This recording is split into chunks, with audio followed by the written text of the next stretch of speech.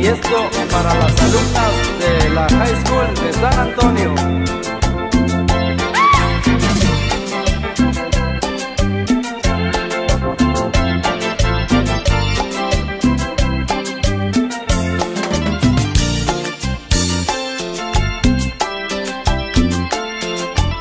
The